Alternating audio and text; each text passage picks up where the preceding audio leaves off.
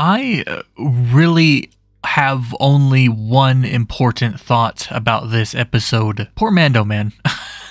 poor poor Din. The the dude is literally bending the rules of everything he has ever known for a child. His faith is being questioned, his codes are being broken.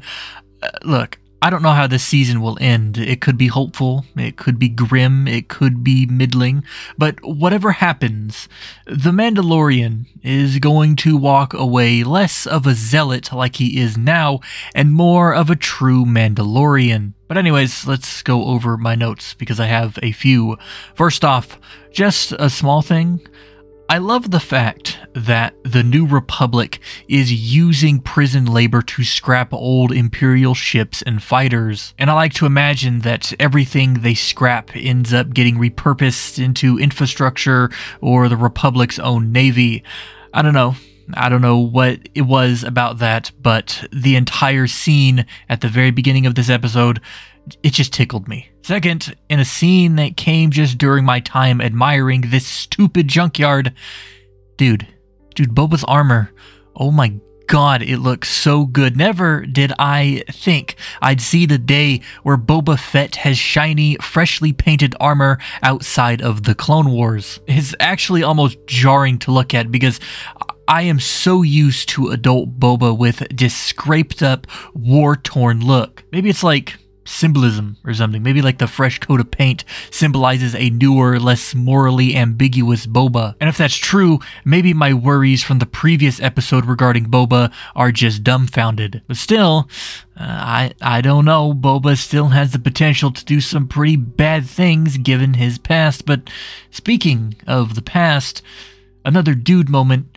Dude, Operation Cinder. Never did I think I would see Boba in nicer clothes, and never did I expect to hear Cinder dropped in The Mandalorian. For those who don't know, Operation Cinder was the name given for the directive ordered after the death of Emperor Palpatine, which it basically outlined that if there was no Palpatine, there is no empire. Therefore, it must be destroyed. And so, after Palpatine died, Operation Cinder was launched with the idea of the empire destroying itself, everything they held, while they did as much damage to the galaxy as humanly possible. And the fact that Operation Cinder is even mentioned here, it really makes me wonder about the Palpatine theory I had. In this theory, I theorized that the reason Moff Gideon needs the child is to aid in the process of cloning the Emperor. And the reason they would need the child to do this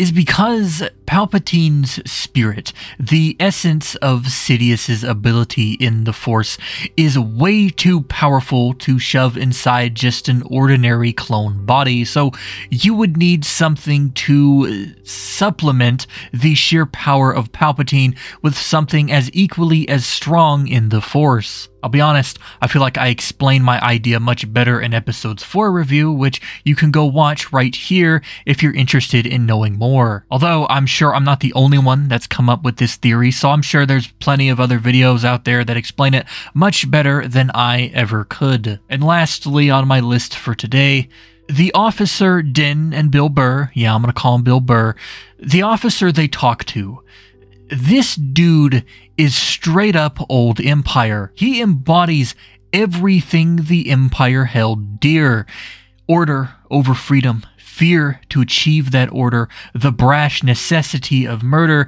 and a great distaste for a new republic. And it's funny because everything he said more or less in this episode came true. The New Republic idealed freedom so much more than security, they were their own downfall, and this downfall left the galaxy more insecure than ever before simply due to the fact that after Episode 9, there are no big galactic powers in play anymore, at least not on the level of the Empire or the Republic. And if the New Republic actually valued security over freedom a little bit more, the First Order might have never came and their own destruction would have never happened. So who knows, maybe another empire will rise from the ashes of the New Republic, which that would be so ironic.